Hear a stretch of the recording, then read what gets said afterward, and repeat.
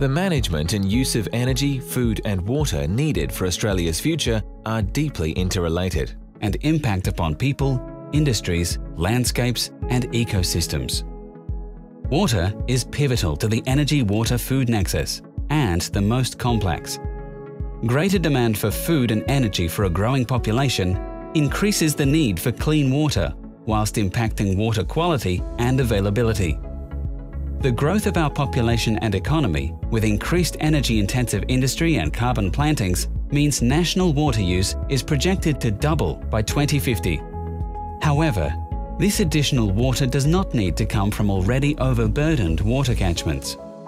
To avoid increased pressure on water-stressed catchments, care would be needed to manage scenarios where tree planting incentives are used to reduce carbon emissions.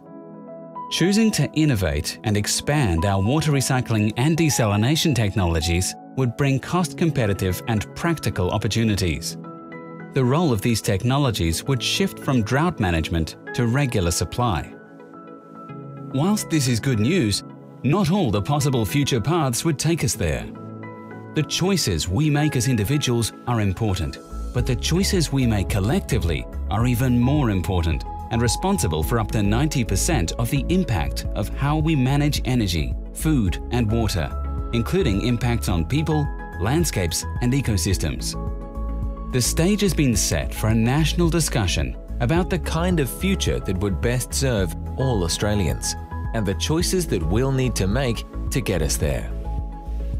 CSIRO's Australian National Outlook helps navigate the future so that we can enhance Australia's long-term prosperity.